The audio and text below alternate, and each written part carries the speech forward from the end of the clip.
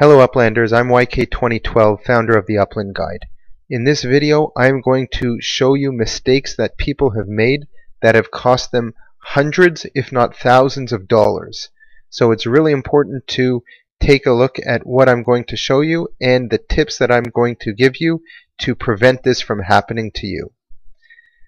One of the best things about Upland is that this is a play to earn game. So this actually means that you can earn while playing.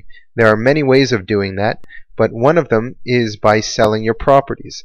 After you buy a property for UPX, you are able to sell it for more UPX, or you're able to sell it for US dollars. And that is something that attracts many people to this game. If I wanted to list a property for US dollars, I would go here and click sell. You always have the opportunity to sell for UPX, but if you want to sell for US dollars, you have to be using the browser version of the game and not the phone app. You also would have have to uh, completed the KYC process in order to be able to sell properties for US dollars. So now that I've chosen to sell, and let's say I want to sell this property for $500, I'm going to want to come here and click on the US dollars button. There are many, many people who come and click on this UPX button by mistake. If I wanted to sell for 500 US dollars and I went here to UPX and I put in 500, I'm actually going to be selling this property for 500 UPX, not $500. This is where I see in the Discord that there are so many people who say that they've made this mistake of listing a property for UPX instead of dollars. And they essentially practically gave this away for free. And someone will buy this property immediately. There are people who use bots to track property listings. Using a bot to purchase a property is against the rules, but there are lots of people who track prices and they know how to receive a notification if they see anything under a certain price. So 500 UPX is practically free.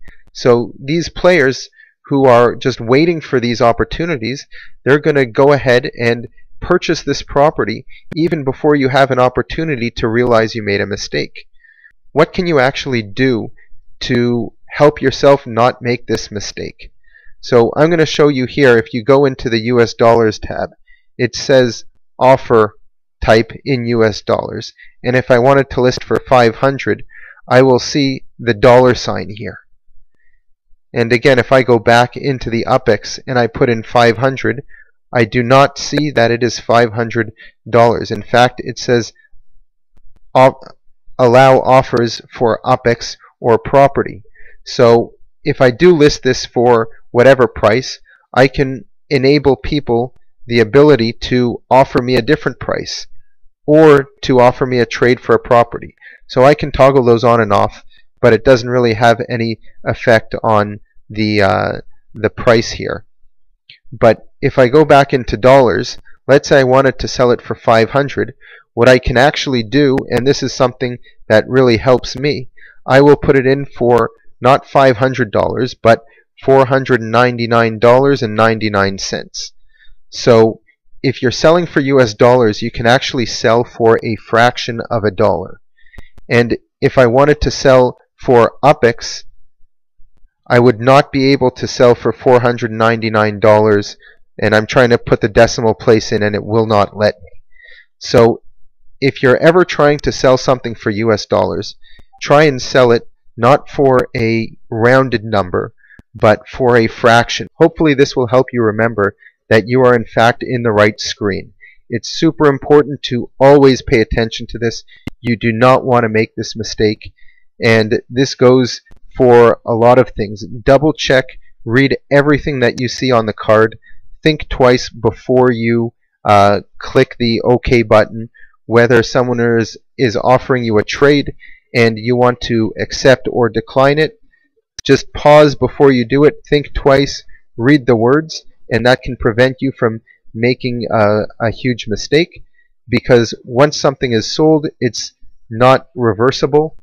what's done is done. So it's extremely important to pay attention to these things. And I hope that this tip will help to remind you in the future to pay attention to this and not to make this mistake that many, many other players have done. Please leave us any comments, like this video, and don't forget to subscribe.